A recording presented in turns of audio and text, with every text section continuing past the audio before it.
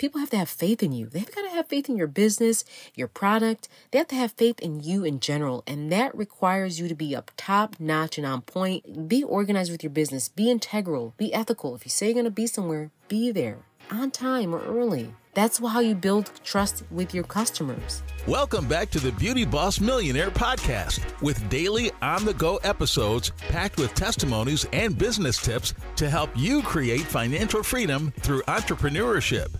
Hosted by the owner of Fracassi Lashes and the Blow Dry Lounge, the Beauty Boss Millionaire herself, Falicia Fracassi.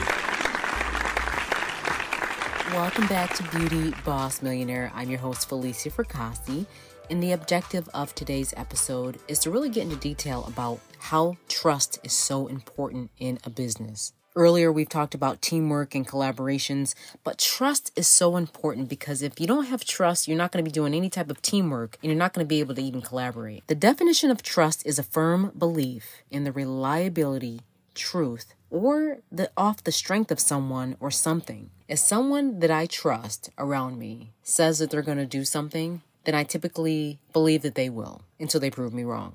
But I already have systems in place in case they do prove me wrong, I still can operate without them.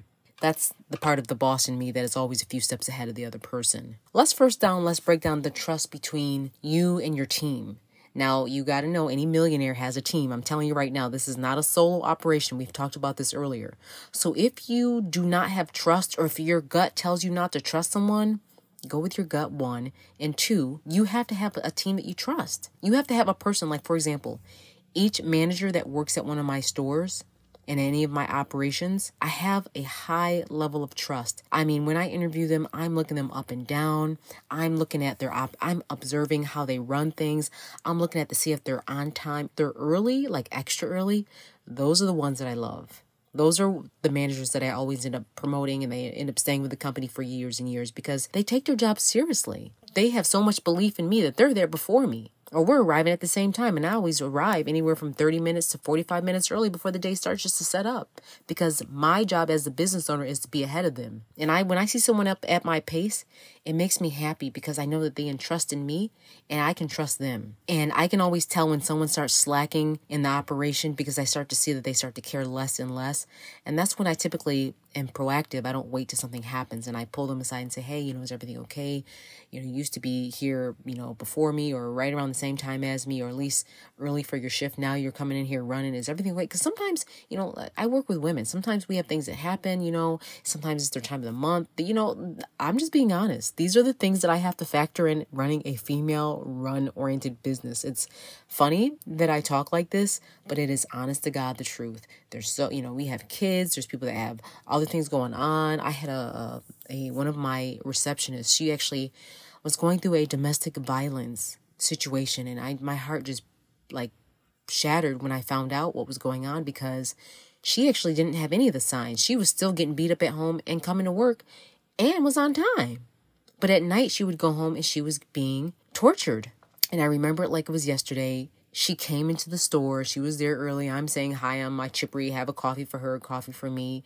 And she was just like, holding something back and she didn't want to tell me because most people are embarrassed when they're in these situations. No one wants to straight up say, I'm in an abusive relationship. They're embarrassed. You know, they're embarrassed that they're even subjecting themselves to this and that they're they're not strong enough to get out. They feel embarrassed. So she started explaining to me what was going on and she took off her scarf that was around her neck for the past two days and there was this huge gash of where he had violently I don't know if he bit her or scratched her, but it was really bad. Like it was so bad where I said, Oh my God, you know, I'm so sorry you're going through this. You know, so it's sometimes important as a leader to have a little compassion. You know, like I said, if it's someone that doesn't show any of the symptoms of a bad employee, have a little compassion. You know, we have sick days, personal days, but still, sometimes you have to find out what's going on with your team. It's only the right thing to do. You know, everyone's not a robot all the time. And if you have that mentality that someone is a robot, you need to probably not be an entrepreneur because you have to be flexible. You gotta you gotta be suave with this. You got you gotta be smooth as a business owner. You can't always just expect people to perform perfectly. And I think that there needs to be a conversation about this because on your team, you also don't want the person that's always making every single excuse. Their tires flat one day, they have to go to a funeral. Those are the number one excuses I hear. Funeral, someone dies, um, flat tire, someone's in the hospital, um, and it's to the point where I don't want to have to ask for a note. You know, it's so stupid that we have to do this. But when someone does it more than like three or four times in, in a certain amount of time, I kind of need documentation after that because you're running on thin ice with me at that point. I don't want that. And I don't feel like I can trust you, which is what this conversation is really all about. That trust needs to be there if you're going to have a solid team. So make sure you pick the people to be on your team wisely. And I hope this goes the same for your friends. I pick wisely who I choose to be my, you know, to be my friends because I don't deal with drama and I want to be able to trust you and not you doing something crazy behind my back. You know, in, in life, you, you're never going to have those best friends. If, if you think you got a best friend, let me tell you something. You haven't lived long enough yet. Because unfortunately, your best friend may have another best friend, and that's just uh, a zone for drama and gossiping. But like I said, you have to have a level of trust when it comes to your team. And another thing is that you actually have to be trustworthy yourself. And what I mean by that is I see some leaders that are unethical, they're unintegral, and they don't they lie about everything. They're not on time when they say they're supposed to be on time. They're manipulative. They're doing everything but what they should be doing to make their team trust them, and they wonder why their team is so discombobulated. I mean, I'm talking about your team should trust you so much. If you say you're going to do something, you have to do it. I mean, stop right there, write a note to yourself. You got to be organized if you want to be a business owner. And that goes with, you know, so many other things. You have to be organized, you have to be on time. People always ask me, why don't I really drink or smoke and all this crazy stuff? Because I need to be on point at all times. You slip up, you have a drink, you're getting drunk, now you got to throw up, now you got to deal with the hangover. And now it's the morning, and now you have to figure out how to function and run your company. I don't do those things. This is why I've been highly successful. My partying and my enjoyment is building companies, making money, and I mean, making a lot of money. I, I really just hate to say it like that, but my joy is really being able to help others too get to a level where they want to be at. I enjoy that. What's the point of making it to the top and you don't have no one to even talk to about it? They can't even relate to you. I'm going to talk a little bit more uh, about something else uh, concerning a, another business that I opened up over the weekend. But first, I want to get back to this trust thing. So, you have to be able to trust your team, one. And two, your team has to be able to trust you. And three, your customers have to be able to trust you. And this is where it's about to get real right here. Because some entrepreneurs have a very, very big problem. And I see it all the time. And it drives me nuts because it's the, it's the downfall of their business and they don't even see it. So many entrepreneurs do not run their business in a professional manner. They're running it with friends hanging out, family like it's a hangout shop, or they're not on time, they're late, they're inconsistent. I've wanted to support so many different ethnic businesses. They're not open on time. They're running behind. They don't have the supplies that they need. And, you know, I kind of work with people sometimes. I'm not going to judge them because you know sometimes things do happen.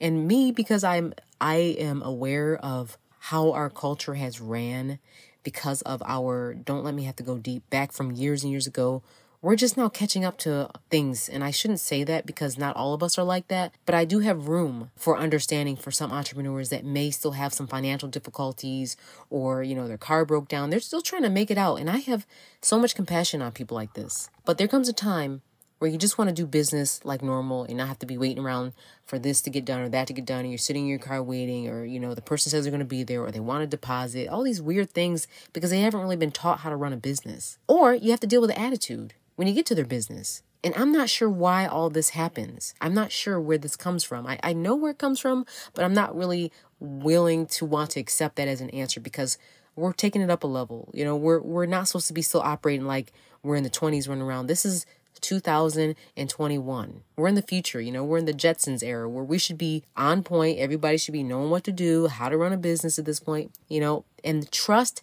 has to be there. Your customers need to say, look, if I go to the place of your business, I expect you to be there. If I pay something, I expect you to be to have it. I shouldn't be having to be in a hood trying to uh, stake out where you at, going to the place, asking you questions, inboxing you, all these different things that business owners do, and they don't be organized with your business. Be integral.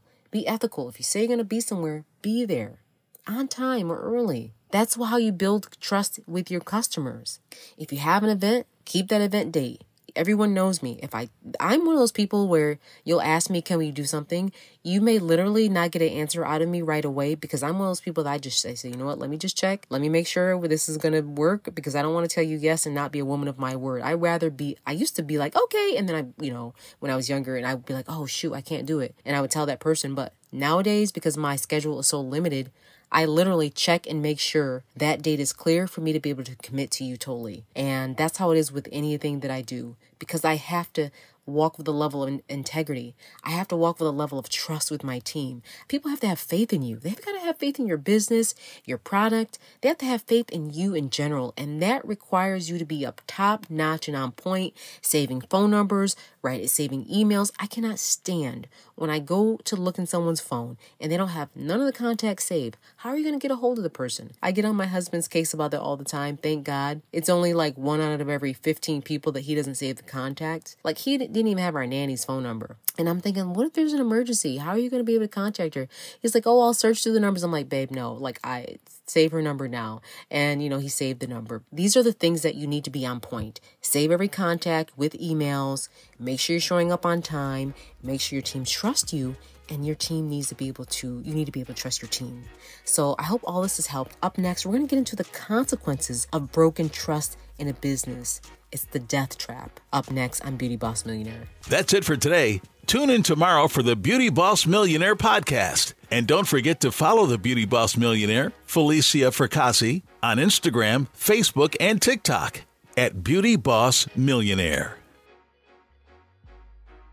For exclusive content on how to make millions in your business, go to beautybossmillionaire.com and click on Become a Patron to gain access to patron only episodes, Beauty Boss Millionaire t shirts, and a private Facebook group with live streams with me, Falicia Fracassi.